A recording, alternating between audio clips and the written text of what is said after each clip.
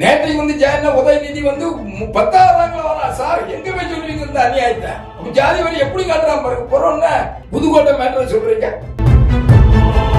எனக்கு தெரிஞ்ச ஒரு கண்ணாசியோட பரிசுத்தமான ஒரு பிரம்மச்சாரி முத்துராமலிங்க தேவை அவருக்கு என்ன மாதிரியா இந்த ஊர்ல இருந்து அவர் பிறந்த ஊர்ல ஏற்பட்டுக்கு ஒரு பேர் வைக்க முடியல முப்பத்தி ஒரு தெலுங்கு தாய்மொழியாக கொண்டா ஒருத்தர் சிஎம்மா இருக்கான். மிகப்பெரிய ஜாரண்டி இந்த பறையனோ ஒரு மன்னியனோ அல்லது ஒரு நாடாரோ தேவாரோ அந்த மாதிரி எத்தனையோ பொங்கு கொங்கு வேளாளா இருந்தா பரவாயில்ல வந்து கேட்கலாம் தமிழை தாய்மொழியா இருந்தாங்க உங்க அப்பா என்ன தமிழன்னு சொல்லு அல்ல திராவிடன்னு சொல்லி எப்படி திராவிடன்னு சொல்லி தமிழன்னு சொல்லி ரெண்டு அப்பா சொல்ற ஒரு வெக்கமா இல்ல? கிட்டத்தட்ட பதினஞ்சு இருபது நாள் ஆச்சு. ஒருத்தர் கூட கைச்சியில திடீர்னு கிட விழிச்சவன் அவன் தான் கிடைச்சான். வேற யாரும் கிடைப்பாங்க? உங்களுக்கு வந்து கள்ளக்குறிச்சி நடந்தது இல்லை பறையர் வந்து பறையர் நாடு தான் சார் இது. அந்த காலத்துல பறையர் நாடு தான் இந்த பறையர் நாடுகளே தான் உங்களுக்கு பிற்காலத்துல. அண்டிதானே இப்ப ராஜா எங்க இருக்காரு? திருமாவளவன் எங்க இருக்கிறாரு? டிஆர் பாலு எங்க இருக்காரு? அவர் வழி இல்லையே. இந்த மக்கள் எல்லாம் அப்படியே நாசமாகி இவ்வளவு எழுபத்தஞ்சு லட்சம் மக்கள் செத்தாங்களே அந்த பாவத்தை யாரு? இதே மக்கள் சும்மா இருப்பாங்களா? நாளைக்கு அவன் எந்திரிச்சு வந்து இந்த இவங்க புதைக்கப்பட்ட இடத்துல இவன் தோ- யஜ்ஞ வாக்கியான நீங்க பிராமிட்ட யஜ்ஞ வாக்கியானுங்க பயங்கரமா ஒரு அறிவாளி முதல் வந்த அறிவாளி எங்க சமூகத்துல அவனை தோக்கடிச்ச ஒரு பரட்சி கார்முகி சார் ராஜாஜி வந்து ஸ்பீக்கர் போஸ்ட் போகுது சார். ராஜாஜி வந்து கேட்கறான் பாசா எங்க? ஸ்பீக்கர் போஸ்ட் வேகன்சி இருக்கு. நானும் ஐயங்கார் நீங்களும் ஐயங்கார் நான் எம்ஏ படிக்கணும் கொடுங்கிறான் ராஜாஜி ஐயங்கார் ஐயங்கார் தெரியலையா? ஜஸ்டிஸ் பார்க்க பப்பராமதியார் இருக்கிற கட்சி இருந்து அவங்க ஆதரவு கொடுக்கல அவரு? அவனு வெங்கடேச வெங்கட ரங்க நாயுடுகள ஆதரவு கொடுக்குறாரு. அப்ப அவர் ஜாதி வரியும் காட்டிட்டார்ல? ஜாதி வரியும் மொழி வரியும் காட்டிட்டார். நவாசா. தம்பி இப்ப லெமுரின்னு பாரு. நான் என்ன ஜாதி என்ன மதம் கண்டுபிடிக்க முடியுமா? வர்றாங்க புதுக்கோட்டையில போய் கிழிச்சிருவாங்களா? நமக்கெல்லாம் வயசாகி செத்து போன்னு தெரியும் உள்ளதை சொல்றோம். இவங்க என்ன செய்வாங்க? கூடி போனா நம்ம நடராஜர் வந்து அரெஸ்ட் பண்ணுவாங்க. நம்ம சொல்லாம இருக்க முடியுமா உண்மையா?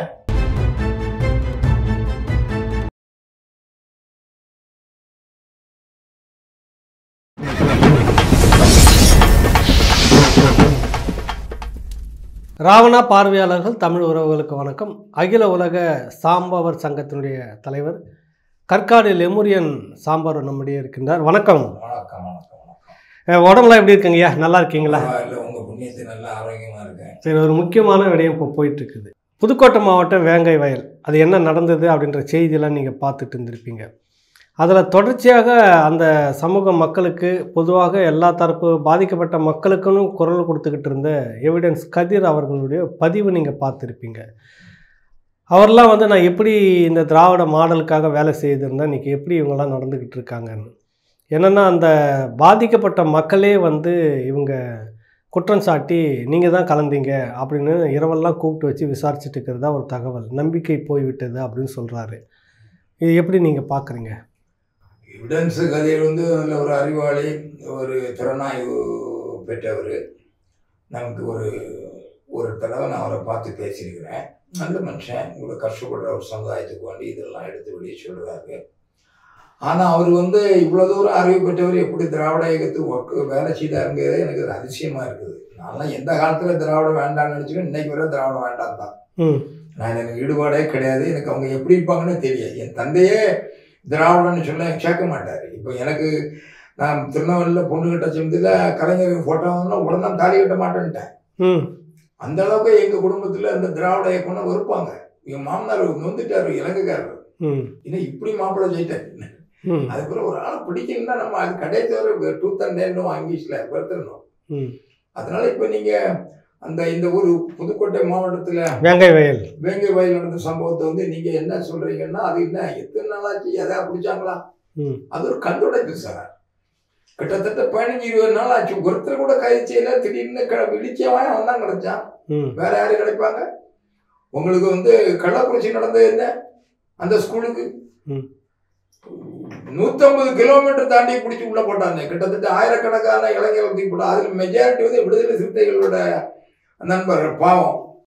திருமணம் அதை பற்றி பெருசா எடுத்துக்கல. அதுல கைது செய்யப்பட்டவன் இன்னைக்கும் ஜாமீன் கிடைக்காது. இல்லை அவர் போயிட்டு ஆர்ப்பாட்டம் போராட்டம்லாம் பண்ணிட்டு வந்திருக்கிறாரு. வந்து என்ன அவனுக்கு இன்னைக்கு வர ஜாமீன் கிடையாது அன்னைக்கு நூத்தம்பது இருநூறு கிலோமீட்டர் போயெல்லாம் போலீஸ்காரங்களாம் பிடிச்சாங்க. இங்க பக்கத்துல உள்ள பிடிக்க வக்கு கிடையாது வசதி கிடையாது. எங்க வேங்க வயல் அந்த வக்கையில் வசதி இல்லைன்றீங்களா? பிடிச்சி யார் நீங்க கண்டுபிடிக்க பெரிய கம்ப சுத்திரமா இது. இடிச்சவன் அவன் தான் கிடைச்சான் பறையான் அவனை தூக்கி போட்டுடுது. இதுதான் அவனுக்கு அந்த காலத்துல தொழில். எப்படி உங்களுக்கு கீழ்வன்மணியில வந்து அவங்கள வீட்டை பூட்டி இழுத்தி பெரியார் அண்ணாதுரை கருணாநிதி துணை போனார்களோ அது போலதான் இதுவும். அவங்க தொழிலே தானே எப்படி தொழில் அதுன்னு எப்படி சொல்ல வரீங்க சத்தியமணி தொம்மையார் ஏழாவது ரேங்க்ல திமுக இருக்காங்க. கருணாநிதி வந்து இருபத்தி ஏழாவது ரேங்க் அந்த அம்மா அண்ணாதுரை மினிஸ்டர் போஸ்ட் முடிச்சுன்னு அப்பவுமே நிறைய பேர் அண்ணன் ஜார்ஜி கோமகன் பிரதி இளம்பரதி எல்லாம் கேட்கறாங்க என்ன அண்ணா நாங்க கிட்டத்தட்ட அப்பவுமே நாங்க எழுபத்தஞ்சு லட்சம் பேர் இருக்கிறோமே இந்த அம்மாவுக்கு மட்டும் தான் கொடுப்பீங்களா? எங்களுக்கு வேற ஆள் இல்லைன்னு கேட்டாங்களே. அது சீரன் தம்பின்னு சொல்லிட்டு சத்தியானிக்கு மட்டும் தான் ஒரு பதவி கொடுத்துட்டு அவர் ஜாதியில ஏழு பேர் போட்டாரு அவரை சேர்த்து. அப்புறம் இருக்க வைஸ் சான்சலர் பெரிய பெரிய பதவியில் அவங்க ஜாதி சேர்த்தா ஏற்கனவே பேசிருக்காங்க அண்ணாதுரை ஒரு ஜாதியை பிடிச்சவன்னு. அப்போ இந்த அவர் இறந்த உடனே கருணாநிதி முதலமைச்சர் ஆகட்டும் முதல்ல குரல் கொடுத்த இவரை கொண்டு வரணும். முதலியார் பசங்க ரொம்ப ஆட்ட இது செய்யறாங்க அட்டூழியம் பண்றாங்க. அவங்க வந்து நம்மள வந்து ஏறி மேயறாங்கன்னு சொல்லி எம்ஜிஆர்ட்ட போய் நீங்க அவர் தான் கொண்டு வரணும் நெடுஞ்சல் கொண்டு வர கூடாதுன்னு சொல்லி சொன்னவங்க எல்லாம் சத்தியவாணி சென்னைக்கு ஆமா முதல்ல கேட்டாங்க அப்புறம் எம்ஜிஆர் போய் எம்ஜிஆர் ஆலோசிச்சாரு என்னடா இவன் முதல்ல டாமினேஷன்ல தமிழ்நாட்டில் இருக்குன்னு சொல்லி தானே இந்த வேண்டாதானத்துக்கு சிஎம் காக்குனாரு எழுபத்தி அறுபத்தேழுல அறுபத்தெட்டு அறுபத்தொன்பதுல கொண்டு வந்தாரு எழுபத்தி ரெண்டுல கொண்டு வந்தாரு. எழுபத்தி ரெண்டு அதுக்கப்புறம் மூணு மாசம் கழிச்சு தான் எம்ஜிஆர் கட்சி மாறினது. ரெண்டு டிப்போ எம்ஜிஆர் எல்லாம் ஜெயிச்சாங்க. அறுபத்தேழு தேர்தல் பார்த்தா எவனாலும் சொல்லுவான் எம்ஜிஆர் ஒரு சக்திகளை இவனுக்கு எவனாலே வர முடியாது. அந்த ஏழை எளிய மக்கள் எல்லாம் சினிமா நீங்க அந்த ஆதியில இருந்து அந்த புத்தி தான் அப்படின்னு சொல்ல வரீங்க அன்னை சத்யவாணி பத்தி அந்த- அந்த சத்யவாணிக்கு சொல்லி கொண்டு வந்தாலே ஹெல்த் மினிஸ்டர் அந்த அம்மா கிட்ட ஃபைல கொடுக்காம பரச்சின்னு சொல்லி மூஞ்சில எரிஞ்சால கருணாநிதி. அந்த அம்மா வெளியில வந்து இப்ப கூட்டம் போட்டாங்களே சேர்த்துப்பட்டுல என்ன கூட்டம் தெரியுமா? சாதாரண கூட்டமா? மிகப்பெரிய கூட்டம். அன்னைக்கு இந்த மாதிரி எனக்கு வந்து ஃபைல் தூக்கிறது எனக்கு ஜாதி சொல்லி திட்டான்னு சொல்லிட்டு ஒரு தாழ்த்தப்பட்ட ஒரு முன்னேற்ற கழகம்னு ஒரு கட்சியை கொண்டு வந்தாங்க. அந்த கட்சியை கொண்டு வந்த பிறகு அதுல வந்து ஒரு சுவாமிதுரை இன்னைக்கு ஓய்வு பெற்ற நீதிபதி எஸ். கே. கிருஷ்ணன்லாம் அதுல வந்து அந்த கட்சியில இருந்து வக்கீலா துணை பணிபுரிஞ்சவங்க தானே? அந்த அப்பா அந்த காலத்துல. அந்த காலத்துல அந்த அம்மாவோட இருந்துதான் பிறகு பிற்காலத்துல உயர் நீதிமன்ற ஜட்ஜியா வந்தாங்க அப்ப அப்படி ஏழாயிரங்களா அப்ப அன்னைக்கு நீங்க சென்னைக்கு வந்தீங்கன்னா ஐம்பது தலைவர்கள் போட்டிருப்போம் அண்ணா சம்பத்து நெடுஞ்செழியன் சத்யானி மத்திய மதியால. இந்த அஞ்சு பேர் தான் இதெல்லாம் பொய் சொல்றாங்க கலண்டரா நாங்கெல்லாம் பார்ப்போம் படிக்கிற காலத்துல. இந்த அஞ்சு பேர் போட்டா தான் இருக்கும் அந்த மாதிரி தூக்கு தூரப்பட்டானே. அதுக்கு இந்த தாழ்த்தப்பட்ட சமுதாயத்தை சேர்ந்தவங்க கருணாநிதி கூட இருந்தாங்களே குறிப்பா ஒய்பால சுந்தரம். இதெல்லாம் வரலாறு மறக்க முடியுமா அது மாதிரிதான் அவர் மக்கள் இந்த அம்பேத்கர் மக்களே கொண்டு வந்தாரு. சொத்து இந்த பறையர் ஜாதியை மதிக்காம தூக்கி தூரவிடுறது திராவிட இயக்கத்துக்கு அன்றாட பழக்கம். இன்னைக்கு நேற்றுக்கும் இல்ல. அப்பவே நடக்குது. இல்ல அதுதான் இப்ப வந்து உங்க கள்ளக்குறிச்சிலையும் நடந்தது. கள்ளக்குறிச்சிலயும் அதே போல வந்து அவன் தான் கிடைச்சான் அவனுக்கு அவ்வளவுதான் சார். அவங்களுக்கு வந்து கேட்க ஆளு கிடையாது நைட்ல பாப்பான வேற வழி இல்ல. போலீஸுக்கு ஐடிக்கு டிஜிபிக்கு உலகம் பூரா அந்த மேட்ரு இப்போ நடைபெறுது. அதை எப்படியாவது கேட்கணும். யாரை வச்சு கேட்பீங்க நீங்க? விருப்பத்துக்கு உள்ளதையும் தான் போட்டு கேட்க முடியும். போட்டு அடி அடின்னு அடிச்சாச்சுன்னா அவன் வலி பொறுக்க முடியாது. இவர் ஐயா நான் தான் செய்தேன்னு சொல்லக்கூடிய தலைவர் இருக்காரு. வலி பொறுக்க முடியும் அடி கொஞ்சம் நிஜமா அடிப்பாங்க. சோத்துக்கு படம் பார்த்தா இது எந்த அளவுக்கு உண்மைன்னு தெரியல. மிருகத்தனமா அந்த சித்திரவதை பண்றாங்க ஒரு பையனை. அப்ப எப்படி அவன் ஜாலியா அவனே செய்வானா? சிந்திக்க வேண்டாமா? அது ஒரு கிலோ ஒரு பக்கெட் நேரம் தூக்கி போட்டிருக்கான். சார் அதுல எப்படி ஏறினா அந்த ஏற இடத்துல அவனுக்கு கால் தடம் கை தடம் தெரியாது. ஃபிங்கர் பிரிண்டிங் சரி இப்ப உங்களை மாதிரியான தலைவர்கள் நிறைய பேர் இருக்காங்க இந்த சமூகத்துல. பொதுவாகவே தமிழ் சமூகத்துல பெரும் சமூகம் இந்த சமூகம் சொல்லிட்டு தொடர்ச்சியா வந்து திராவிடம் துரோகம் பண்ணிட்டு இருக்குதுன்னு சொல்ல வரீங்க ஆனா தொடர்ச்சியா ஆதரிச்சு நீங்க தானே முதலமைச்சர் நாற்காலியில் உட்கார வச்சுட்டு. சார் திரா பறைங்கிற ஒரு ஒரு தமிழ் இனம். அது அது என்னன்னா நம்ம பச்சை பறைன்னு சொல்லுவாங்க. அதாவது அவன் ஒரு இனம். இப்ப நான் அதுல ஒரு இனத்துல முதலியாரு தேவர் பிள்ளை நாடாருன்னு சொல்லுவாங்க நான் அதுல சாம்பார்னு ஒரு ஜாதி. பறையர் வந்து பறையர் நாடு தான் சார் இது. அவன் அந்த காலத்தில் பறையர் நாடு தான் இந்த பற நாடுங்க தான் உங்களுக்கு பிற்காலத்துல சவுத் இந்தியன் நார்த் இந்தியன் எல்லாம் வருது உங்களுக்கு. அவன் தான் பரன்னா என்ன? பரதேசம் நச்சுன்னா அவன் அமைதியானவன் இலக்கியம் படிச்சவன் சொல்லக்கூடியவன். சொர்க்கத்துக்கு சமம். அதனால இங்கிலீஷ்ல பேரடைஸுங்கிறான் பரதேசம் தான் பேரடைஸ் இங்கிலீஷ்ல. பிஏஆர்ஏ டிஇஎஸ்ஹெச் பரதேஷ். இங்கிலீஷ்ல பேரடைஸுங்கிறான் பேரடைஸ்னா என்ன அர்த்தம்? சொர்க்கம்னு அர்த்தம். இவன் எங்க இருக்கான சொர்க்கம். ஒம்புக்கு போக மாட்டான். அவன் வம்புக்கு போனால்தான் அவன் உடனே கூட ஜெயிலத்தி போட்டு அடிக்கிறானுங்க. வம்புக்கு போறவன அடிப்பாங்கல்ல அந்த ஜாதி அப்பப்பட்ட ஜாதி கிடையாது ஔவையாரும் வள்ளுவரும் பிறந்தவர்.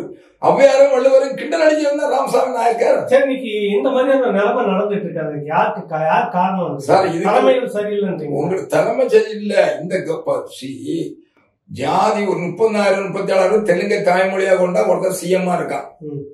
மிகப்பெரிய ஜாரட்டி இந்த பறையனோ ஒரு வந்த மன்னியனோ அல்லது ஒரு நாடாரோ தேவாரோ அந்த மாதிரி எத்தனையோ கொங்கு வேளாளர் இருந்தா பரவாயில்ல வந்து கேட்கலாம் தமிழை தாய்மொழியாக கொண்டவன். வேற்று மொழிக்காரன் போய் என்ன பேசுவீங்க அவன் இன்னைக்கு நேரத்துக்காரன்? திருமணம் எப்படி உங்களை கொடுமைப்படுத்தினான் ம். பாண்டி நாட்டை இல்லைன்னு ஆக்கிட்டான்ல திருமணம் நாயக்கன் பிறகு என்ன அவன் செய்த தமிழ் இலக்கியங்களே அழிச்சு விட்டானே. அந்த குரூப் தானே போய் திராவிட நாடு சொல்லிட்டு உட்கார்ந்துருக்கு. என் கர்நாடகாவுக்கு திராவிட நாடு பேர் கொடுத்தானா ஆந்திராவுக்கு கொடுத்தானா இந்த கேரளா கொடுத்தானா இங்க மட்டும் சார் வச்சுட்டு இருக்கா? அப்ப அந்த எல்லா ஸ்டேட்டும் பிழைக்கி தமிழ்நாடு திராவிட நாடு. இவனு அங்கவே பிழைக்க முடியாது அவன் இங்க வந்து பிழைக்கலாம். சமயத்தில் சென்னை சில்க்கு கோழிக்கோடுல ஒரு கடையை ஓபன் பண்ணான் டெக்ஸ்டைல்ஸ். அவன் கேரளாக்காரன் வந்து நின்றுட்டு அவன்கிட்ட. நீ தமிழ்நாட்டுல இருந்து கடையை போட்டிருக்க. தொண்ணூத்தஞ்சு சதமானம் மலையாளிக்கு தான் அங்க வேலை விடணும்ட்டான் ம். அதெல்லாம் கிடையாது இருக்காதுன்ட்டான். சென்னை சில்க் இருக்கு சென்னை சில்க்கு அவன் சொல்றான் பார்த்து எவ்வளவு முடியாது. எங்க ஆளு முதல்ல கொடு. அதுக்கு பிறகு கிடையாது அஞ்சு சதமானம் ஆளை கொண்டு வான்னா இங்க சொல்லுவானா. சொல்லுவானா சார் ஏன் சொல்ல முடியல? அங்க கேரளா எங்க சார் நீங்க வாழ விட்டீங்க? தமிழனுக்கு எங்க வீருக்கு அவன் அண்டிடா பழகிறான். தமிழ் எல்லாம் அண்டி தமிழ் பழக்கம் அண்டிதானே. இப்ப ராஜா எங்க இருக்காரு திருமாவளவன் எங்க இருக்காரு டிஆர் பாலு எங்க இருக்காரு வழி இல்லையே. பிழைக்கணும்னா அவன் அண்டிதா அந்த அந்த டெக்னிக்க கலைஞர் தெரிஞ்சுக்கிட்டாரு. அதனால இந்த வண்டி ஓடுது. ரொம்ப நாள் ஓடாது. அது ஒரு விஷயம் இருக்கு. இப்ப இந்த இந்த புதுக்கோட்டை மேட்டர் சுப்ரீம் கோர்ட்டு போகும் அல்லது ஐநா சபை போக கூட சான்ஸ் இருக்கு. ஏன்னா உலகத்தில் உள்ள ஹியூமன் ரைட்ஸ் மனித உரிமைலாம் அதை வந்து பார்த்துட்டு போறவங்களுக்கு தெரியாது. பிபிசி வந்து போட்டோ எடுத்துட்டு போறான். இது பெரிய விஷயமா போய் சாதாரண விஷயமா இருக்காது. ஒண்ணு சொல்லுங்க நான் உங்ககிட்ட கேட்கிறேன். இங்கிலாந்துல சார்ல்ஸ் ஃபர்ஸ்ட் ஒருத்தன் நான் சார்லஸ் கூட சார்ல்ஸ் தான் சொல்லணும். அவன் ஜேம்ஸ் ஜேம்ஸ் வந்து ஒரு அவனுக்கு மகன் தான் சார்ல்ஸ் ஃபர்ஸ்ட்.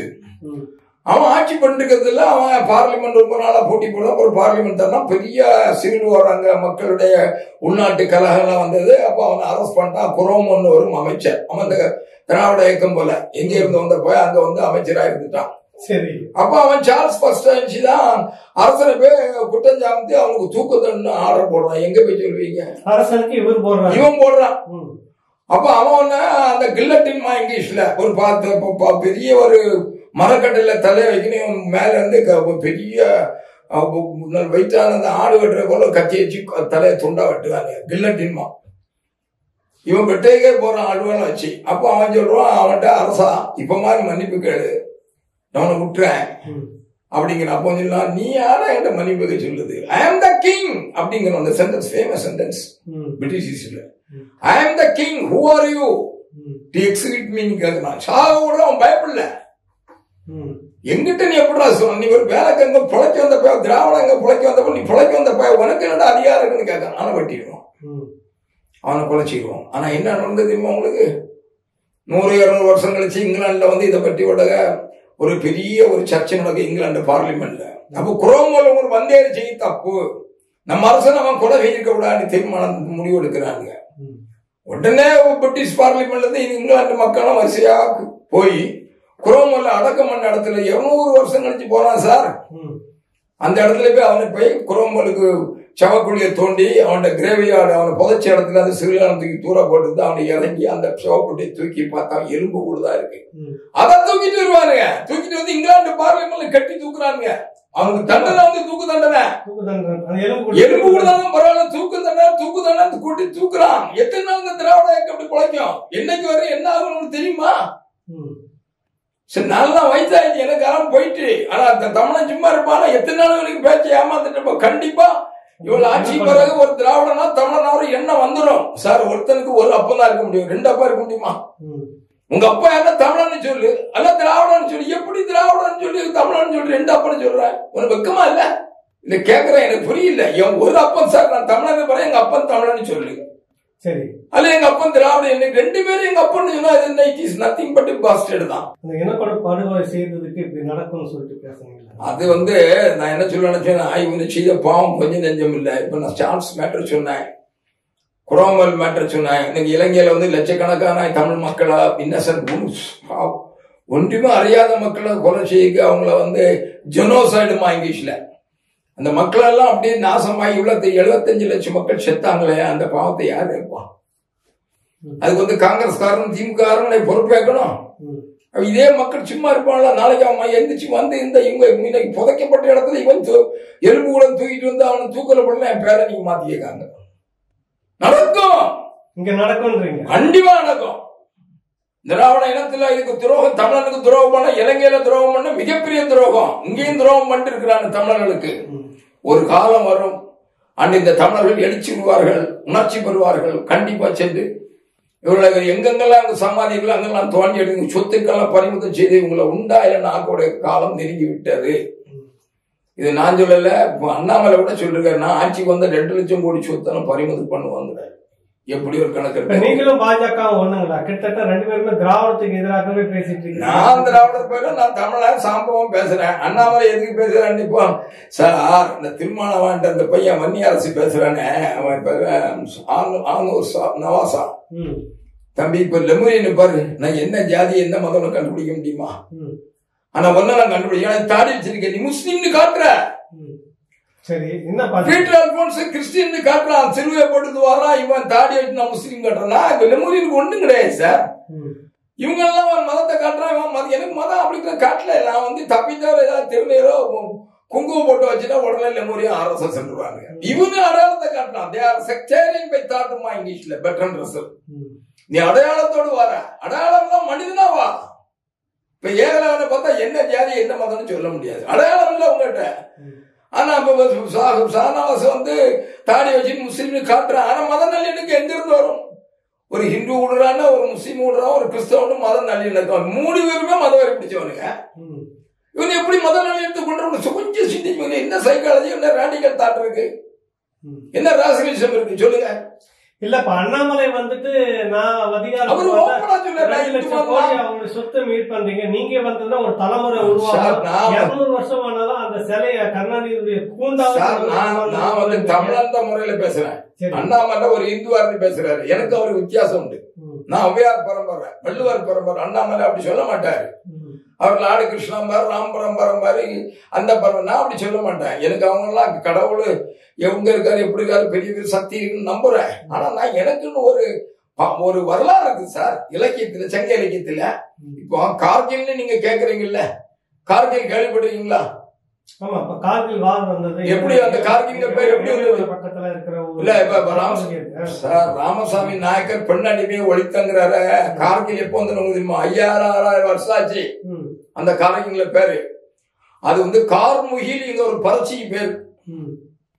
அப்ப யஜ்ஞ வாக்கியானு பெரிய அறிவாளி ஒரு பிராமண சமுதாயத்தை சேர்ந்தவன் அவன் அங்க அந்த இவன் மேல அந்த மேல உட்கார்ந்துகிட்டு எல்லாத்தையும் வாக்குவாதம் செய்வான் பயங்கரமான வாக்குவாதம் செய்வான் லாஜிக் பிலாசபி. ஆனா இந்த இலக்கியம் இதெல்லாம் பத்தி பேசி ஜெயிச்சிருவான். எத்தனையோ போராளிகள் அவன்கிட்ட போய் வாக்குவாதம் பண்ணுவாங்க பசு மாடை கொண்டு பசு மாடு கொம்புல பயங்கரமான நகைகள் முத்துக்கள் பசு கழுத்துல வந்து செயின் இதெல்லாம் விலை மதிக்க முடியாத பொருள்லாம் எடுத்துட்டு அவன்கிட்ட போவாங்க. பேச்சுவார்த்தை நடக்கும் பேச்சு போட்டி நடக்கும். யஜ்ய வாக்கியம் ஜெயிச்சிருவோம். லட்சக்கணக்கான கோடிக்கணக்கான மணிகளும் முத்துக்களும் தங்கமும் வைக்கிட்டு அந்த பசுமாடை அப்படியே விட்டுட்டு வந்துடணும் ம். அதுபோல கார்மிகள்னு ஒரு பொருள் பொம்பளை போறான் இவன் அவன்கிட்ட நீ என்னம்மா ஜாதி? நான் என்ன ஜாதியா இருந்தானே பேச்சுக்கு வேடா வா பார்க்கலான்ங்கிறாவா ஜெயிச்சிருவான். கடைசியில் அவன் தோத்த அவன் சொத்தெல்லாம் அவன்கிட்ட கொடுப்பான். அதுதான் கார்மிகள். அவன் பேர் வந்து கார்கில் வந்தது. இது சரி. இப்படியான சமூகத்துல ஏன் பின்னாடி போய் சார் அவ்வளவு யஜ்ஞ வாக்கியான தோக்கடிச்சானா நீங்க பிராமின் யஜ்ஞ வாக்கியானுங்க பயங்கரமா ஒரு அறிவாளி முதல் வந்த அறிவாளி எங்க சமூகத்துல அம்மா. அவனை தோக்கடிச்ச ஒரு பரட்சி கார்முகில். இது ஒண்ணு தெரியுமா திராவிட இயக்கத்துக்காரங்க பெண்ணடிமை எங்க இருந்ததுங்க ம். என் கம்பன் வீட்டு பெரியார் வந்த பிற்பாடு பெரியார் வந்து. தொண்ணூறு வருஷம் தானே ஆச்சு. சுயமரியாதை இல்லாதவங்க முன்னாடி எல்லாமே அடிமையா தானே இருந்துட்டு இருந்தீங்க நீங்க? யார் சொன்னா? அவர் சொல்லிட்டு தெரியாதுங்க எங்க ஊர்ல நீங்க கல்யாணம் பண்ணி சொன்னா தாலி எடுத்து கொடுக்கறதே? எங்க மாமன் கொடுப்பா இல்ல எங்க பெரியப்பா சித்தப்பா எங்க பாட்டம் மட்டும் தான் எடுத்து கொடுப்பா நாங்க வேற அந்த திராவிட பசங்க எடுத்து தாலி எடுத்து கொடுக்க வச்சிருக்கோம். அந்த கலாச்சாரத்தை பெரியார் கொண்டு வந்தார். ராமசாமி நாயக்கர் கொண்டு வந்தார். சார் சுயமரியாதை என்ன சார்? நீங்க எனக்கு மரியாதை தரலன்னா நான் எம்பாரு எனக்கு மரியாதை தெரியும் அது அசிங்கமா இல்ல. அடுத்தவங்க எனக்கு மரியாதை தரணும். நானா எனக்கு மரியாதை அது என்ன? எனக்கு பகுத்தறிவுக்கு அப்பாற்பட்ட இல்லை அது என்ன சுயமரியாதை. சொந்த பந்தம் கொடுக்கான சார் மரியாதை. எவனே கொண்டு வைக்க மரியாதை. இவனை அவரை கொண்டு வந்தானே அந்த திராவிட இயக்க தலைவர்லாம் வருவாங்க அந்த பையன் உட்கார்ந்துருப்பான் பொண்ணு மாப்பிள்ளை அவன் தாலி எடுத்து கொடுப்பான் தாலி கட்டும். இது சுயமரியாதையா சரி இப்ப இந்த வேங்கை வயல் விஷயத்துக்கே வருவோம். இப்ப அந்த மக்களுக்கு வந்து ஒரு விசாரணை வந்து நடந்திருக்கு. அந்த களப்பணியில இருந்துட்ட எவிடன்ஸ் கதிர் வந்து இந்த பதிவு போட்டிருக்கிறாரு. இப்படியான சம்பவத்துக்கு என்ன தீர்வு நீங்க மிகப்பெரிய அளவில் போராடணும். போராட அந்த பாதிக்கப்பட்ட மக்களுக்கு சமுதாயம் ஒன்றரை கோடி இருக்குதே. மற்றவங்க வராலும் தமிழ் மொழி தமிழ் தாய்மொழியா இருக்கிறவங்க போராடணும். அவங்கள தடுத்து வச்சிருக்கா ஜெயில தூக்கி போட்டுருவான் கொலை தூக்கி போட்டுருவான் அன்னைக்கு போய் திமுக என்ன ஆட்சி பண்ணுது எவனா பேசினா நடராஜன் வந்து கைது செய்வான். எவன் பேச முடியுது? இப்ப ஆராசம் திருமணம் எனக்கு தெரிஞ்ச திருமணம் ஓரளவுக்கு வரக்கூடிய கட்சியில சேர்ந்து அவங்க எம்பி பதவி பேசவே மாட்டேங்கிறாரு காரணம் அவன் ஜெயில போட்டுருவான் இல்ல அவர் போய் அங்க புதுக்கோட்டையில வந்து ஆர்ப்பாட்டம் என்னது பண்ணியிருக்கிறாரு ஆர்ப்பாட்டம் சார் அங்க போய் ஆர்ப்பாட்டம் பண்ணி விவரமா பேசின ஒரே தம்பி ஏர்போர்ட் மூர்த்தி. நான் அதை பார்த்துட்டு தான் இருக்கேன். அவர் ஒண்ணுமே இல்லாம கூட பேசுறாரு நல்லா பேசுறாரு கருத்துக்களை பேசுறாரு துணிஞ்சு பேசுறாரு. மயில புடுங்கலான்னு கேக்குறான் அந்த ஆளு ஏர்போர்ட் மூர்த்தி அப்படிலாம் பேச முடியுமா? அப்போ அவர் ஒரு வீரம் அவர் ஒரு பாசம் அந்த சமுதாயத்துக்கு ஒரு அக்கறை இருக்கிறான்னு பேசுறாரு ம். இவ்வளவு நாள் என்ன செய்யறான்னு கேக்குறான். அவன் உணர்ச்சி வசப்படுறாரு சார் நான் இல்ல திருமணம் இருந்து இப்போ இல்ல. இல்ல இப்ப மற்ற தலைவர்கள் சொல்றீங்கல்ல தமிழ் சமூகமா வந்து எந்த ஜாதிகாரன் சார் போனா சொல்லுங்க? அதான் ஏன் ஏன் திமுக காரன் போனானா அதிமுக காரன் போனானாக்கா ஜாதி ஓட்டி போயிடும். சாதி எனக்கு வேண்டியதில்லை அப்படின்னு சொல்லிட்டு அந்த சம்பவம் நடந்த உடனே முதல்ல ஒரு அறிக்கை கொடுத்து கண்டன அறிக்கை கொடுத்து சீமான் பேசியிருக்கிறாரு. எப்படி? சீமான் பேசுறாரு. அவர் அன்னையிலிருந்து இந்த சமுதாயத்துக்கு வந்து ரொம்ப பேசுறாரு. ஜாதிக்கு பேரை வைங்கடா நீ பறையன்னு துணிஞ்சு சொல்லுடா நிமிந்து நின்று சொல்லலாம் சொல்றாரு. தம்பி பெரிய மிகப்பெரிய ஒரு உணர்ச்சியும் இன்னைக்கு ஒரு கட்சியில நிறைய பேர் வாலிப பையங்கள்லாம் அவர் கட்சியெல்லாம் இருக்காங்க. அவர்கிட்ட ரெண்டே ரெண்டு ஒண்ணு நீ தமிழ்நாடு சொல்லு. மற்றொன்று வந்து ஜாதி சொல்ல வைக்கப்படாதுன்னு சொல்லி. ரெண்டு தத்துவங்களை சொல்லி மிகப்பெரிய விஷயம் அது. திராவிட இயக்கத்தால சீரழிக்கப்பட்ட தமிழ்நாட்டுல. ஒரு நூறு வருடத்துக்கு பிறகு சிங்கமென சீரும் கர்ஜிக்கும் தம்பி சீமான் வந்து மிகப்பெரிய ஒரு புரட்சியை கொண்டு வராரு. சரி இப்ப இந்த ஒரு கேள்வி இருக்குது. இந்த வேண்டை வயல்ல கலெக்டர் வந்துட்டு பார்வையிட்டு இருந்த போது அந்த சாமியாடி வந்து அந்த சாதிய சிந்தனையோட அவளுக்கு பதினஞ்சு நாள் பெயில் கொடுத்துருக்காங்க இருங்க. அந்த ஸ்ரீமதி சந்தேக மரணம் இருக்குல்ல அதுல வந்து அந்த கலவரன்ற பேர்ல வந்து ஆயிரம் நூற்றுக்கணக்கான பேர் கைது பண்ணாங்க. சிறுத்தைகளுக்கு இன்னும் மற்றபடி இருக்கக்கூடிய ஒடுக்கப்பட்ட மக்கள் மத்தியில. அவங்களுக்கு எத்தனை நாள் கழிச்சியும் பெயிலே கிடைக்காம கிடைக்கல வெயில் கிடைக்காது சார். ரெண்டையும் நீங்க எப்படி பாக்குறீங்க ரெண்டையும் பக்கம் இது ஆதிக்க ஜாதிகள் போன் அடிச்சு பண்றியா இல்லான்னு பயமுறுத்திருப்பான் அப்ப இங்க வந்து உங்களுக்கு கள்ளக்குறிச்சிலே அவருக்கு அரசாங்கத்தை பயமுறுத்துக்கு ஆளு கிடையாது. ம், நீ சிந்திச்சு பார்க்கணும். இங்க அந்த அந்த சாமியாரையும் ரிலீஸ் பண்ணியா இல்லான்னு கேட்க சொல்லி எனக்கு காதல் விழுந்துச்சு. எனக்கு தெரிஞ்சதாங்க கேள்விப்பட்டேன் அவன் பல்வேறு காரங்க அங்க போய் அரசாங்கத்துக்கு இது கொடுக்குறான் அழுத்தம் கொடுக்குறான். அவன் அழுத்தம் கொடுக்காத பயந்து விட்டான். இவனுக்கு அழுத்தம் கொடுக்க ஆளு கிடையாது. ஆளு இவ்வளவு பேர் இருக்கீங்க? நீங்களா இருக்கீங்க இருக்காங்க. என்ன ஒரு- சட்டமன்ற உறுப்பினர் சார், இருக்காங்க, ஒரு ரிசர்வேஷன்ல. 50 ஒரு ஐம்பது வருஷத்துக்குள்ள இவன் நிலம் இல்லாம ஏதோ வாங்கி கஷ்டப்பட்டு இவனே உழைச்சி இவனே கவர்மெண்ட் சர்வெண்ட் ஆகி அரசாங்க உத்தியோகஸ்தன் ஆகி கம்பெனி எல்லாம் போய் எடுத்து கொஞ்சம் கொஞ்சமா சேமிச்சு வச்சிருக்கான். இன்னும் டவுனுக்குள்ள மெட்ராஸ் பரச்சேரி தான் சொல்லலாம் சென்னையில ஜாதி வீடு கிடைக்காது. அவன் இன்னைக்கும் ஸ்லம்முக்குள்ள ஏதாவது நல்ல வீடு இருந்தா தான் கவர்மெண்ட் சர்வம் தங்கி இருக்கான் இந்த ஊர்ல பிறந்தவன் தான் சொந்த வீட்டுல இருக்கான் தெற்க இருந்து வந்தவன் பூரா ஸ்லம்ல வாழ வீட்டுல இருப்பான். நான் கிண்ணத்துல ஐம்பத்தி மூணு வருஷம் சென்னையில இருக்கிற பார்த்துட்டு தானே இருக்கிறேன். ம், இவனுடைய எல்லாம் ஒரு இவனுடைய எதுவுமே சீர்திருத்தம் செய்யல. ஒரு சும்மா இது இது இது மத்தாப்பு பொறிஞ்சிய பிறகு பொறிஞ்சிட்டு கிடக்கிறான் தவிர ஒன்று இவன்ட்ட ஒரு காரியம் கிடையாது. ஒன்றும் இல்லை இந்த கவர்னர் பேசின பிறகு உங்க சட்ட பிரகாரம் after the speeches of the governor assembly ceases எக்ஸிஸ்ட்ங்கிறான். மரபு சட்டமே இல்ல. எனக்கு பிறகு சிஎம் பேசக்கூடாது ஸ்பீக்கர் ஆர்டர் கொடுக்க கூடாது அப்ப என்ன விஷயம்? சட்டசபையா உங்க மீறுங்க அப்புறம் உங்களை என்ன என்ன செய்யும் என்ன பாடுபடுத்துவான்னு சிந்திச்சு பாருங்க. சரி இன்னொரு சட்ட சிக்கலை பத்தி பேசுற விஷயம் என்னன்னா ஆளுநர் உரை சட்டமன்றத்தில் நடந்தது அதுக்கு உடனடியாக க- அங்கே வந்துட்டு கண்டன உரையும் நடந்தது. கண்டன தீர்மானத்தை நிறைவேற்றினார். முதலமைச்சர் ஸ்டாலின் வந்துட்டு தமிழ்நாடு அரசு சார்பாக எழுதி கொடுக்கப்பட்ட அந்த உரையில நிறைய அவரை மாற்றம் செய்து சிலதெல்லாம் வந்து நீக்கிட்டு சிலது வழியை திணிச்சு பேசிட்டு போயிருக்கிறாருன்னு ஒரு பெரிய சர்ச்சை ஓடி அதுல உங்களுடைய பார்வை என்ன? நீங்களும் படிச்சவங்க நானும் படிச்சோம். வெளிநாட்டு முதலீடு இந்தியாவில் வந்தாலும் முதலிடம் முக்கிய கர்நாடகா தான் ஜெனரல் நாலேஜ்ல சொல்றான். அடுத்தது மகாராஷ்டிரா அம்பேத்கர் பிறந்த மாவட்டம் மாநிலம் மகாராஷ்டிரா மூணாவது தான் தமிழ்நாடு. இவன் தமிழ்நாடு முன்னால இருக்குது. அப்பா தமிழ்நாடு முன்னிலை இருக்குது கொடுத்தா அவன் என்ன படிக்க ஐபிஎஸ் படிச்சா விட்டு விடுவானா? அவனால எப்படி அவன் ஆமாம் படிக்க முடியுமா? எதனால நான் சொல்றேன்? தெரிஞ்சது. வெளிநாட்டு முதலீடுகள் முதல்ல இருக்கு கர்நாடகா ரெண்டாவது மகாராஷ்டிரா மூணாவது தான் தமிழ்நாடு. மூணாவது அது தெரியாது. பட் முதல்ல எப்படி நீ வந்து தமிழ்நாடு போடலாம் விட்டு விட்டு விடுவான். அதாவது இந்த பொன்முடிக்கோ அல்லது வந்து அந்த ஒரு மினிஸ்டர் இருக்கிறானே அன்பில் பொய்யாமொழியா அன்பில் மகேஷ். இவங்களுக்கெல்லாம் ஐபிஎஸ்னா என்ன எம்எஸ்சினா என்ன தெரியல. அது degree BSc MSc BL degree sir IPS is not a degree இவங்க கன்ஃபியூஸ் பண்ணிட்டு எடுக்கிறாங்க எப்படி உனக்கு டிகிரி கொடுத்துருக்காங்கிறான் சட்டத்தில் என்னையா கேள்வி ஐபிசி ஒரு competitive examination UPC competitive examination நடத்தினா அதில் ஜெயிச்சு ஒரு எட்டு பேப்பர் அடி பாஸ் ஆகி வரலாம் இதுதான் ஐபிஎஸ் ஐஏஎஸ் ஐஆர்எஸ் வச்சிருக்கான். அது டிகிரி கிடையாது. புரியுதா உங்களுக்கு? அதனாலதான் அது வந்து இதுக்கு நிறைய வித்தியாசம் இல்லை. அது எந்த எவனையும் எழுதி ஒரு எட்டு பேப்பர் எழுதி ஆனால் வந்துருவான். உனக்கு ஏமா அந்த டிகிரி கொடுத்தாங்கிறான். டிகிரியே இல்ல அது. விதிமுறை விதிமுறை நான் தான் ஒரு பாயிண்ட் சொல்லிட்டேன். அவன் கண்டிப்பா கையெழுத்து போட மாட்டான். ரெண்டாவது வெங்காயமும் இது- இது- இது மிளகும் வந்து தமிழகத்திலிருந்து ஏற்றுமதி செய்யக்கூடியமா தமிழகம் வாங்க நீங்க எங்க இருந்து வரீங்கன்னா தமிழ்நாட்டிலிருந்து வருகிறோமா வித்தியாசம் தெரிஞ்சுக்கிட்டீங்களா. தமிழகம் எப்படி போகணும்? சாரி வெறுப்பு நவுனு பெயர்ச்சொல் வினைச்சொல்லுதெல்லாம் எப்படி தமிழ்ல இலக்கியம் இலக்கணம் இருக்கு சார்? எவ்வளவு வித்தியாசம் இருக்குங்க? லெமூரி எங்க இருந்தா தமிழ்நாட்டுல இருந்து வரான்னு சொல்லுவேன் இது எங்க இருந்து ஏற்றுமதி தமிழகத்திலிருந்து ஏற்றுமதி வச்சு இந்த தப்பி நீ கண்டுகிட்ட எவ்வளவு ஆக்கப்பூர்வமான செயல் எவ்வளவு அதெல்லாம் செய்ய?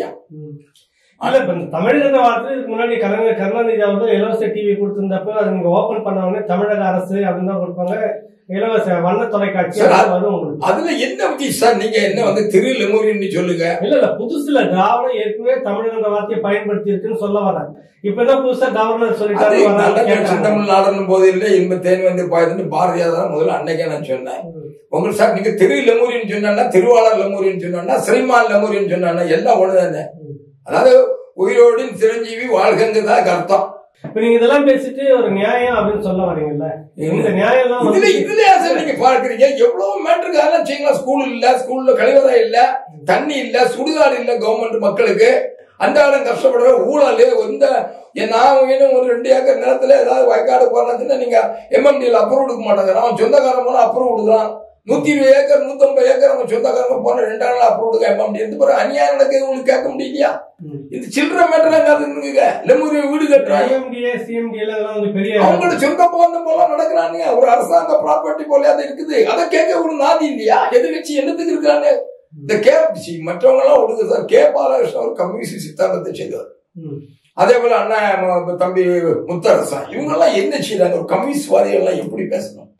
சோவியத் ரஷ்யாவில் அவன் அவன் பேர என்ன நிக்கோலஸ் என்ற அரசனை வந்து பெரிய கொடுங்கோல்னு அவனை ஏழு பேரை கொண்டு அவன் செய்த குற்றம் ஒரு ஏழு பேரை கொண்டுட்டான் அவனை தூக்கி தூக்கிலப்படணும்னு ரஷ்யாவில் எல்லாத்தையும் புரட்சி செய்தார். ம், ஆனா ஸ்டாலின் கொண்டவங்க பேர் எவ்வளவு தெரியுமா? அஞ்சு லட்சம் பேர். இதை எங்க போய் சொல்றீங்க இல்ல இதெல்லாம் நீங்க பேசுறீங்கன்னா மதவாதிகள் இந்துத்துவா அதனால பேச வராங்க இப்ப நீ வந்து நீயும் மதவாதியா போலாம். நீங்க பேசுறது எல்லாமே இந்துத்துவா அந்த வலதுசாரிகள் மாதிரி இந்துத்துவால எப்படி இருக்கும் இப்படி நானு? இந்துத்துவால நான் வந்து நாங்க சாமியாடிட்டா இருக்கேன் கோயில போய் நான் தர்மவர்த்தமாட்டா இருக்கேன். நான் என்னைக்காவது அரசாங்கத்துல போய் நான் ஒரு தர்மவர்த்தாவை போடு கோயில அதை போடு நான் கேட்கறேன் அந்த பழக்கம் எனக்கு கிடையாது. எங்க பாட்டன் போட்டுன்னு கேட்ட கிடையாது. எங்களுக்கு சிந்தனை தான். என் பாட்டனும் சிந்தனை எங்க அப்பனும் சிந்தனை. எங்க அப்பா எந்த காலத்துல அவர் எம்எல்ஏ இருந்தாரு? பிரிட்டிஷ்கார காலத்துல டெய்லி வாங்கினாரு முப்பத்தி ரெண்டு நாற்பது எம்எல்ஏ எந்த காலத்துல எந்த ஊர்ல போய் கோயில கும்பிட்டாரு? யார்கிட்ட போய் அவர் எனக்கு பதவி கொடுக்கு சரஸ்வதி எங்க அப்பாவுக்கு பெரிய ஃப்ரெண்டு ராஜாஜி பெரிய ஃப்ரெண்டு நான் வந்து அந்த மாதிரி ஆளுக்கு பேச்சு அதெல்லாம் கேட்டு பழகிறோம் அந்த தான் விரும்புவேன். ஆமா அவங்க எல்லாம் அவ்வளவு தூரம் அன்பா சார் ராஜாஜி வந்து ஸ்பீக்கர் போஸ்ட் போகுது சார். ராஜாஜி வந்து கேட்கறான் பார் சார் எங்க? ஸ்பீக்கர் போஸ்ட் வேகன்சியா இருக்கு. நானும் ஐயங்கார் நீங்களும் ஐயங்கார் நான் எம்ஏ படிக்கணும் கொடுங்கிறான் ராஜா ஐயா ஐயங்கார் ஐயங்கார் சரியா இந்த சிவரன் பிள்ளைக்கு ஒரு பறையன்னு கொடுத்தீங்களேன்னு கேட்கிறாரு. அவன் பிஎல் சட்டசபைக்கு பிஎல் ராஜாஜி சொல்றாரு சிவசென்னும் பிள்ளை சிவசண்முகம் பிள்ளை வந்து பிஎல் முடிச்சிருக்காரு பிஎல் எம்ஏ பிஎல் அதனால நான் கொடுத்தேன். பிஎல் எம்ஏ எல்லாம் பிஎல் ஒரு அடிஷனல் டிகிரி நான் அவ்வளவுதானே கொடுக்க முடியும்? ஸ்பீக்கர் ஆகுதுக்கு ஸ்பீக்கர் ஆகுதுக்கு பிஎல் கம்பல்சரி இவருக்கு மிடில் ஸ்கூல் டீச்சரா இருந்த அவர் அப்பாவுக்கு ராதாபுரத்துல. ம், அதனால அவருக்கு எல்லாம் போட்ட சட்டம் ஒழுங்கு தெரியாத பிரச்சனை வந்தது. மதியானம் என்ன செய்தான் கலைஞர் காலத்துல. அவர் ஒரு டிகிரி போட்டு நடந்தாரு. என்ன ஆச்சு கிடைச்சி சட்டத்திற்குள் போட்டு? கலாட்டா பண்ணி ஒருத்தவனை அடிச்சு மண்டையை உடைக்கல? அப்ப நீங்க எல்லாம் சின்ன வயசா இருக்கும்னு நினைக்கிறேன். நான் அறுபத்தேழுல இருந்து பார்த்துட்டு தான் இருக்கேன். என்ன மாதிரி சார் சட்டசபை ஆ, பிறகு பிஹெச்டி பண்ணி அதில் எம்ஜிஆர் எம்ஏ பிஎல் போட்டவங்க அவருக்கு வந்து ஸ்பீக்கர் போஸ்ட் கொடுத்தாரு. பிஎல் கம்பல்சரி இல்லை? இப்போ அவர் சிபி ஸ்பீக்கர் பிஎல் இருந்தால் கொஞ்சம் கே கேர்ஃபுல்லாக அவர் உடனே அவர் அவர் பேசுனெல்லாம் வெளியான போய் செய்து நீ பேசு பேசுனா சொல்லியிருக்க மாட்டார். கொஞ்சம் ஆலோசிச்சிருப்பார். இந்த லெஜிஸ்லேஷன் அசம்பிளி சீசஸ் டு எக்ஸிஸ்ட்ங்கிறான் சட்டப்பிரகாரம். அவன் எவ்வளோ பெரிய ஆளுநர் இப்படி தான் இருக்கணும் இப்படி தான் செய்யணும்னு இருக்குது. அவன் அதான் அவன் சிரிச்சிட்டு கோம்பாஸ் பையங்களை போங்கடா சொல்லி வெளியே போயிட்டானே. யாரை கேவலப்படுத்திட்டான் அவன்? போங்கடா உங்க தமிழ்நாட்டு மக்கள் அது வந்து கேவலப்படுத்திருந்தாங்க கேவலப்படுத்தவன் திராவிட இயக்கம் பெரியாரு அண்ணா கருணாநிதி எல்லாம் போய் பேசிக்கிட்டாக்கா இவனுக்கு வேற சிந்திக்கு எங்க சார் விட்டாங்க? தமிழன் என்னைக்கா இது பட்டு சட்டசபையில என்ன? பேருரை என்ன யாரு முதல் பேசும் இதுல என்னென்ன வழிமுறைகள் இருக்குன்னு சொல்லி எங்கேயாவது கிளாஸ் இருக்க கனிமொழி கட்டுரையும் அவன் பேர் என்ன? இவன் இவனுக்கு ஒரு கட்டுரையும் அதே இதெல்லாம் படிக்க சொல்றாங்க சார் எவனாவது எவ்வளவு ஜாதி வரி இருக்கணும் அந்த கல்வி அமைச்சர் ஹிந்தி படிக்காங்கன்னா பரவாயில்ல மெஜாரிட்டி ஜாதி. அவன் எந்த மொழி படிச்சா உனக்கு என்ன? மத்திய அரசில் உள்ள ப- பள்ளியோட இந்தியா பூரா வந்தாச்சு. கம்யூனிஸ்ட் க- இதாக இருக்குது வெஸ்ட் பெங்காலா இருக்காது. கொண்டு விட மாட்டாங்கிறான் பொன்முடி. இப்போ எப்படி சமுதாயத்தை படிக்க விட மாட்டேங்கிறான்ல இவன் சொல்லுதான் படிக்கணுங்கிறான். பெரியார் வாழ்க்கை வர படி பெரியார் வாழ்க்கை வர என்ன சார் லண்டன்ல படிச்சு ஹிஸ்ட்ரி படிக்கிட்டு இருந்தாரு. அதில் சுப்ரீம் கோர்ட்ல பிராக்டிஸ் பண்ண அவன் என்ன வாழ்க்கை வரலாறு படிக்க ஜாதியை தூண்டுனாரு ஜாதியை உருவாக்குனாரு. என்ன சார் நீங்க சொல்லுங்க? அவன் திராவிட இயக்கத்தை வந்து நீங்க சொல்றீங்களவா வடகா வடார்காட்ல தேர்தல் தேர்தல் நடக்குது. ஜஸ்டிஸ் பார்ட்டி கிட்ட பப்பனா முதலியார் நிக்கிறாரு. வெங்கடேச ரெட்டி நாயுடு நிக்கிறாரு. பெரியார் யாருக்கு சப்போர்ட் பண்ணாரு? ஜஸ்டிஸ் பார்ட்டில இருந்துட்டு வெங்கடேச நாயுடு தான் சப்போர்ட் பண்ணாரு. ஏன்னா அவன் தெலுங்குக்காரன். ஆ. இது வரலாறு அறிந்த உண்மை. எங்க நடந்தது. ஆ. ஜஸ்டிஸ் பார்ட்டி பப்பனா முதலியார் அசர்பால் கட்சி இருந்தா அவனுக்கு ஆதரவு கொடுக்கல அவரு. அவனு வெங்கடேச வெங்கட ரங்க நாயுடுக்கெல்லாம் ஆதரவு கொடுக்குறாரு. அப்போ அவர் ஜாதி வரியும் காட்டிட்டார்ல? ஜாதி வரியும் மொழி வரியும் காட்டிட்டாரு. இதெல்லாம் உங்களுக்கு தெரியாது. திராவிட இயக்கத்தவர் தெரியாதா? அது தெரிஞ்சு தெரியாம நடிக்கிறாங்களா? நடிக்க வேண்டிய அவசியம் தான் வந்தது அவனும் அப்பதானே இவன் ஆதிக்க முடியும் ஆதிக்கம் பண்ற இப்ப என்ன? ஒண்ணு இல்ல. ஸ்டாலின் அவருக்கு வந்து எத்தனை வருஷம் ஆச்சு? அவருக்கு ஒரு சிஎம் ஆகுதுக்கு என்னெல்லாம் தகுதி வேணும்? என்ன சார்? வேணும் முடிய மேக்கப் பண்ணிட்டு வருவான்? சிஎம் கேர்லஸா வருவான். பதவி தான் சார் முக்கியம். ஒரு சிஎம்னா நம்மளாம் கையெழுத்து கொண்டுவோம் அவன் எப்படி இருந்தா நாலடி இருந்தாருன்னா அஞ்சடி இருந்தாருன்னா பதவி அந்த பதவிக்கு ஒரு மரியாதை உண்டு. இந்த மாதிரி மேக்கப் பண்ணிட்டு அரை மணிக்கு மேக்கப் பண்ணிட்டு பையனை கொண்டு சார் ஷெட்யூல்டு காஸ்ட் மினிஸ்டர்ஸ் முப்பத்தி மூணு முப்பத்தி நாலு முப்பத்தஞ்சாயிரம் ரேங்க்ல இருக்கான். ம். நேற்றைக்கு வந்து ஜாயின உதயநிதி வந்து பத்தாயிரம் ரேங்க்ல வரான். சார் எங்க போய் சொல்லுவீங்க இந்த அநியாயத்தை? அப்ப ஜாதி வரி எப்படி காட்டுறான் பாருங்க. போறோம்னா புதுக்கோட்டை மேட்டரை சொல்றீங்க. எப்படி அப்படி இருக்குது. நீங்க சட்டத்தை அமைச்சரவே அவன் கீழ்மட்டத்துல நோக்கிறான். அவன் தீண்டாமை கடைபிடிக்கிறாங்க. போறாங்க புதுக்கோட்டையில போய் கிழிச்சிருவாங்களா? நமக்கெல்லாம் வயசாகி செத்து போன்னு தெரியும். உள்ளதை சொல்றோம். இவங்க என்ன செய்வாங்க? கூடி பண்ணா நம்ம நடராஜர் வந்து அரெஸ்ட் பண்ணுவாங்க. நம்ம சொல்லாம இருக்க முடியுமா உண்மையா. சொல்லுங்க சார் நீங்க. உங்க மனசாட்சி தொட்டு பேசுங்க. மனசாட்சி. மனசாட்சி நீதிமன்றத்தில் நிறுத்தி உங்கள் கேள்வியை கேளுங்கள். நான் பதில் சொல்றேன். முப்பத்தி நாலு முப்பத்தி நாலு முப்பத்தி மூணு முப்பத்தி நாலு முப்பத்தஞ்சு செல்லுடு காசு போவா- அமைச்சரோட வச்சுக்கிட்டு உன் சொத்த பிள்ளைய கொண்டு நீ பத்தாயிரம் வைக்கணும் அப்போ உனக்கு எவ்வளவு தில்லு இருக்கணும். அப்ப தமிழனை எவ்வளவு இழிச்சவன் நினைச்சிட்ட? எவ்வளவு கேவலமான நினைச்சிட்ட? ஒரு கீர்த்தனவன் நினைச்சிட்ட? ஒரு மதியக்கூடாத வர்க்கமா நினைச்சிட்ட? இதுக்கெல்லாம் கம்யூனிஸ்ட்காரன் கேட்கறானா கேட்க முடியுமா? ஏன் வைக்கிறீங்க அவங்க தான் கேட்கணும் வேற யாரும் வேற ஆளை செய்யட்டுமா பாப்போம் கொன்னுருவான் போல. அங்க அவன் தான் தாழ்த்தப்பட்ட சமுதாயம். ம். விடமாட்டா சார்? அப்படி ஒரு கேரளா நடத்தினா கேரளாவோட சாம்பாரம் புலையனும் இங்க நடக்குன்னா திராவிட இயக்கத்தை சேர்ந்து மூளை இல்லாம தண்ணியை ட்ரிங்க்ஸ் அடிச்சுக்கிட்டு இந்த சைனாவில் அபினவோடு க்ளோஸ் பண்ணாங்க உள்ள பறவைகள் பூரா ம- அது டாஸ்மாஸ் கடை திறந்து விட்டு ஆயிரத்தி தொள்ளாயிரத்தி எழுபது இன்று வர மூளைய செயலில் செயல் இழக்க செய்தாங்க எல்லா தமிழ் சமூகம் தானே இப்ப இப்படி எவன் சிந்திக்கான் ம். தமிழ்நாட்டுல. எந்த ஜாதிகாரன் சிந்திக்கான் சொல்லுங்க? நான் ராமதாஸ் எவ்வளவு கத்திட்டு கிடக்கிற வன்னியர் சிந்திக்காங்களா. போன லட்சம் ரொம்ப குறவான ஓட்டு வாங்கினார் எத்தனை நாள் பாடுபடுறாரு. சார் முத்தலு முத்துராமலிங்க ஒரு அப்பழுக்கற்ற மனுஷன். காசி யூனிவர்சிட்டியில அவரை கூட்டி பேச சொல்றான் அவர் எந்த கல்லூரியில் படிச்சாரு எந்த ஸ்கூல்ல படிச்சாரு முப்பது நிமிஷம் அழகான ஆங்கிலத்தில் பேசிக்காரு. அதிசயம் ஆயிப்போச்சு காசி யூனிவர்சிட்டியில அவர் தமிழ்ல பேசுறது சமஸ்கிருத்ல இங்கிலீஷ்ல பேசுறேன்ட்டாரு. Clarity of express is the result of clear திங்கிங்னு சொல்றாரு முத்துராமிக்காரர். என்னையா அண்ணா போய் ஏதாவது யூனிவர்சிட்டி பேசியிருக்காரா? அந்த முத்துராமித்தார் இங்க மதிப்பு இருக்கு. கேவலம் அவர் பிறந்த மதுரையில் அந்த ஏர்போர்ட்டில் முத்துராமித்தார் வைக்க விட மாட்டாங்க அந்த திராவிட இயக்கத்தை சேர்ந்தவங்க. அவர் எவ்வளவு பெரிய மனுஷன் எவ்வளவு பெரிய தர்மம் செய்தாரு. எவ்வளவு பரிசுத்தமான மனுஷன். அந்த அப்போ இம்மானுவல் கொலைகேசில் அவர் நான் நிரபராதி சொன்னப்பறம் வழி பண்ணி ஜாமீன் வேண்டாம்னு சொன்னாரு. எனக்கு தெரிஞ்ச ஒரு கண்ணாசியோட பரிசுத்தமான ஒரு பிரம்மச்சாரி முத்துராமலிங்க தேவர். அவருக்கு என்ன மாதிரியா இந்த ஊர்ல இருந்து? அவர் பிறந்த ஊர்ல ஏர்போர்ட்டுக்கு அவர் பேர் வைக்க முடியல. மவுண்டூர்ல அண்ணா பூங்கா அண்ணா மதுரையில் அண்ணா திருநெல்வேலியில் அண்ணா தென்காசியில் அண்ணா. ஒரு டீ வாங்கி கொடுக்க மாட்டான் ஆளு ஒரு பிராயத்துல. யாருக்கா அண்ணா ஒரு கப் டீ வாங்கி கொடுப்பான்னு சொல்லுங்க பார்ப்போம் சேலஞ்சு பண்றேன் நான். அடுத்தவன் டீ வாங்கிட்டு அழகா போய் சீட்டு வாடிட்டு வருவாரு. நீங்க சின்ன திராவிட இயக்கம் செய்த அநியாயம் கொஞ்சம் நிஜமா? இதை வெளியே சொல்ல முடியுமா? புதுக்கோட்டை மேட்டர் மக்களா சேர்ந்து கோர்ட்டுக்கு போய் மக்களா இது போராடினா உண்டு தவிர அரசாங்கம் செய்யணும் எனக்கு நம்பிக்கை இல்லை. நல்லது. உங்களுடைய ஆதங்கன்னு சொல்றதை விட அதிகாரப்பூர்வமான சில தகவல்கள்லாம் நீங்க வந்து உண்மையாக இருக்கக்கூடிய சில தகவல்களை வெளியில கொட்டியிருக்கீங்க. மீண்டும் ஒரு அடுத்த நிகழ்ச்சியில சந்திப்போம். நன்றி வணக்கம். எனக்கு இந்த மாதிரி எனக்கு பேசுறதுக்கு இந்த வயசான காலத்துல ஒரு சந்தர்ப்பம் கொடுத்ததுக்கு நான் உண்மையிலே கை மைய உங்களை நான் மனசார உங்களை பாராட்டுறேன். உங்கள் அனைவருக்கும் என்னுடைய நெஞ்சார்ந்த வணக்கத்தை தெரிவித்துக் கொள்கிறேன்